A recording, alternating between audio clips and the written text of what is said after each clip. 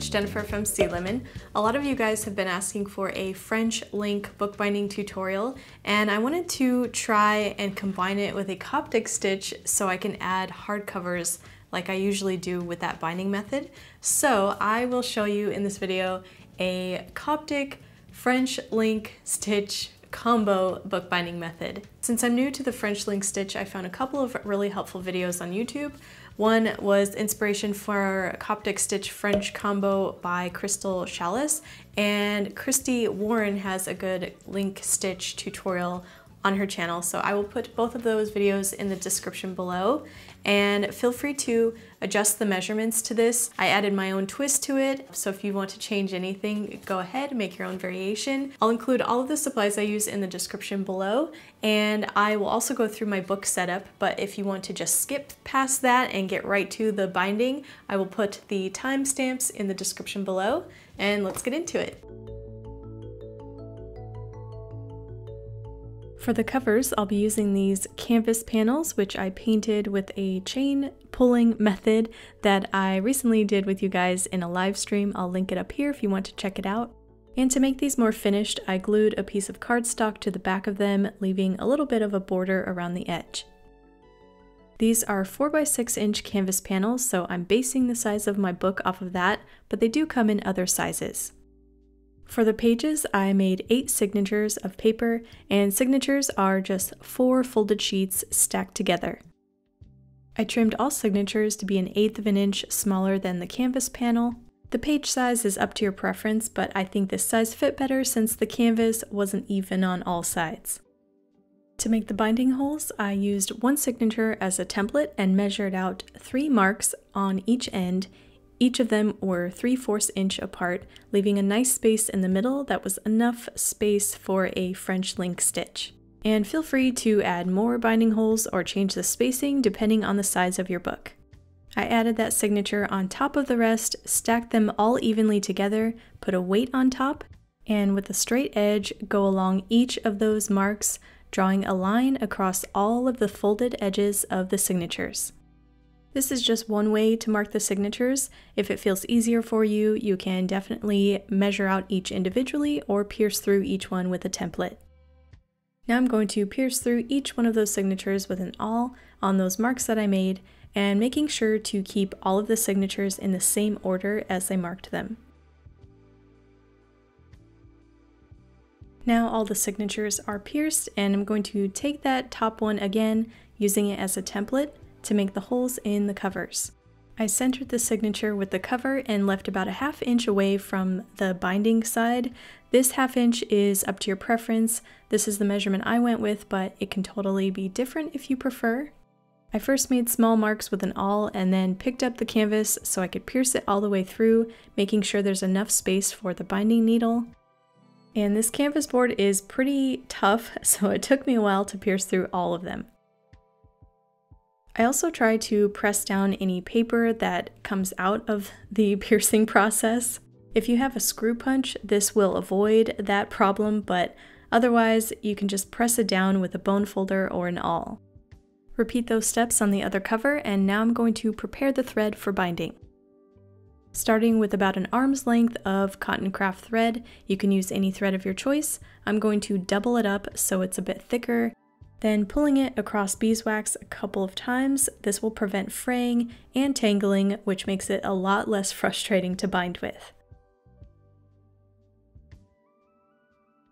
You can use a curved or straight binding needle, and if you prefer to use just a single line of thread, you can just pull it through like this and leave a tail, or if you want to double it up to make it thicker, pull it all the way through and tie both ends in a knot.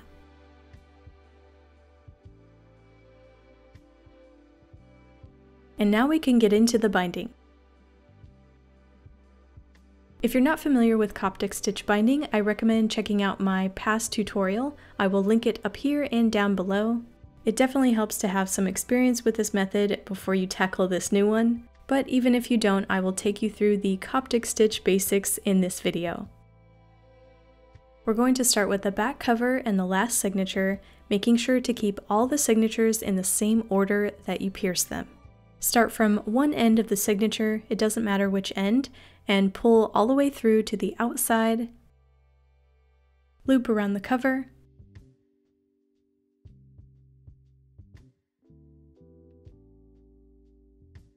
Loop around that, and this is where having a curved binding needle helps. It really helps to get around those curves, but it can also be done with a straight needle. And return back into the signature.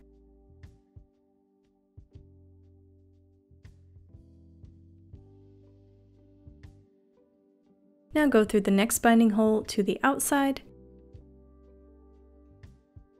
Loop around the cover just like you did with the last one.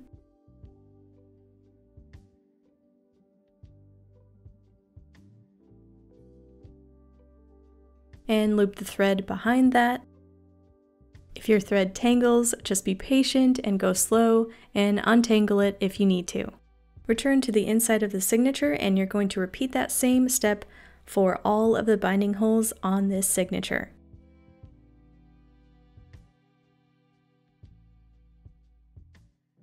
When you reach the last one, loop behind as you usually would, and then you're going to return the needle into a new signature.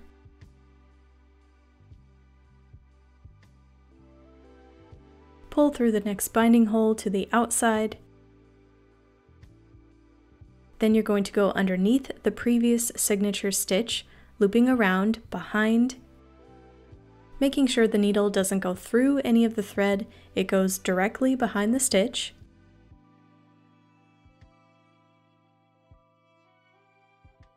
And back into the new signature.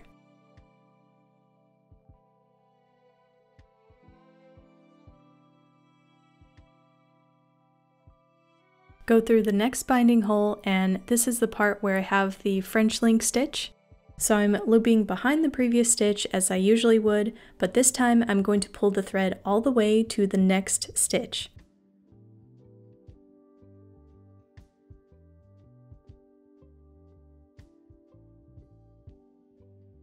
and returning back to the new signature.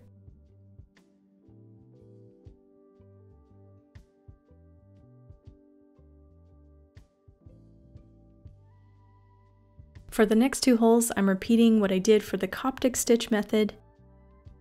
And when I reach the last hole, I'm going to loop around again and return the needle back through a new signature. And repeating that Coptic stitch method until I get to the middle French link portion. Going behind the previous stitch, and this time going behind that line of thread, and then going behind that next stitch and returning the needle back into the new signature. And just as before, the next two holes are the Coptic stitch method, looping around underneath and returning the needle back into a new signature.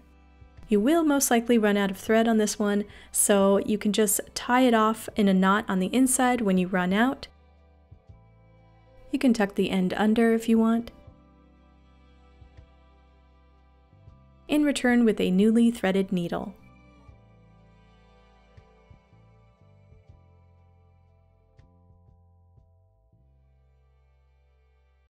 To continue the French link stitch, this next row of thread is going to go behind the previous line of thread.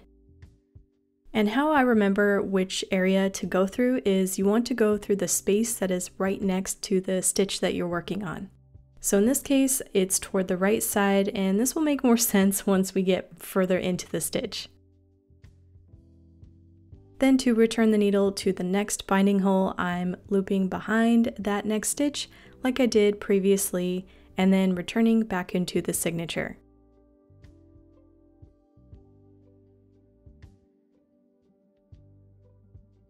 Continue on through the rest of the signature with a regular Coptic stitch binding adding on a new signature after you loop behind the previous stitch.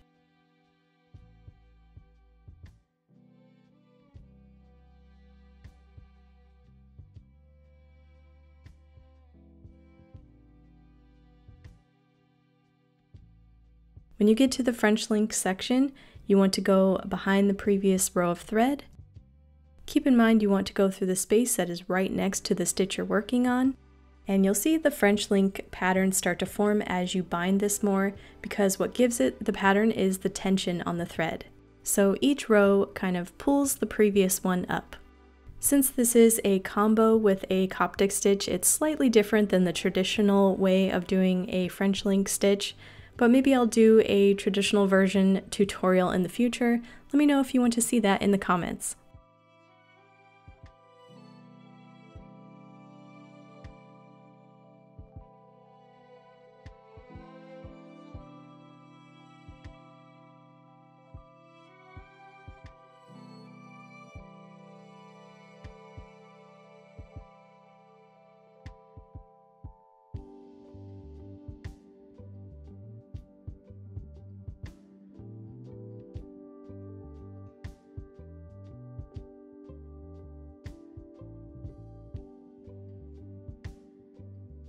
When I reach the last signature, I'm going to bind on the cover along with it, just like I do with a usual Coptic stitch.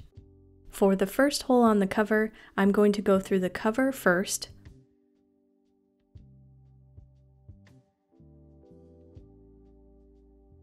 loop behind the previous stitch,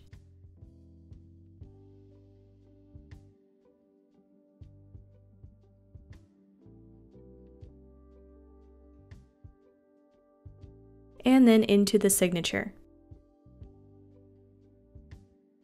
For the next binding hole, I'm going to loop around the previous stitch first and then onto the cover. Looping behind the stitch I made and into the signature.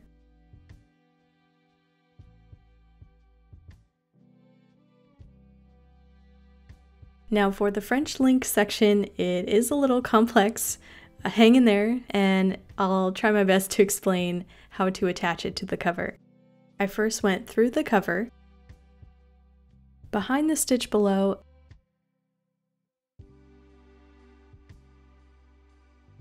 and then looping between the cover and the last signature.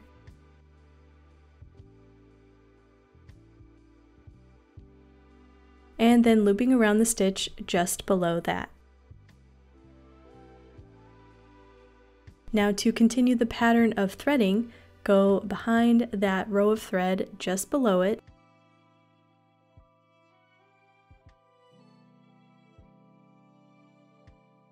and then behind the next stitch on the next binding hole.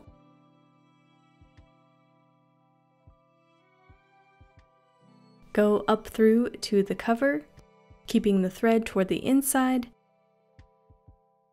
and go behind that previous row of thread to continue that French link pattern. To finish off this side, I then went back into the previous binding hole on that last signature, returning back out on that side I was working on, and then to pull it all together going behind those two threads that you can see that don't look right and pulling it back in with a loop.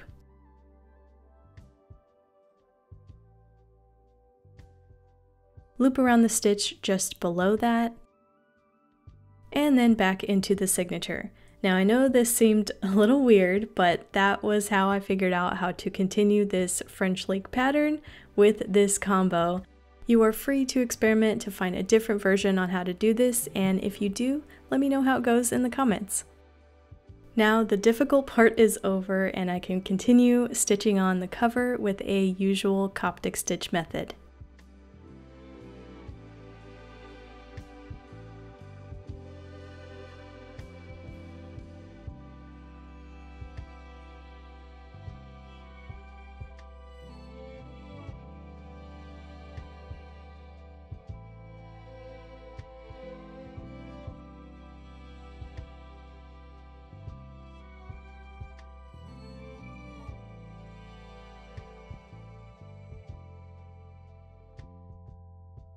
Even though this was a little bit on the difficult side, it was a fun experiment to mix one of my favorite bookbinding methods, the Coptic stitch, with an introduction to the French link stitch.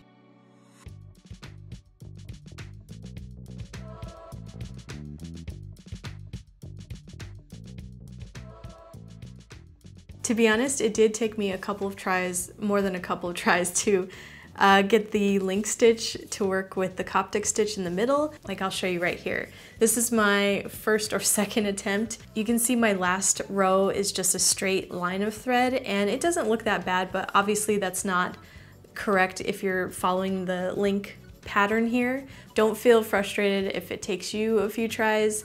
Just try to have fun in the process. You can also make your own variation of this stitch. If you make your own version of this book, I would love to see your project pictures, so share those with me on my social links and add a hashtag SeaLemon and follow me while you're there.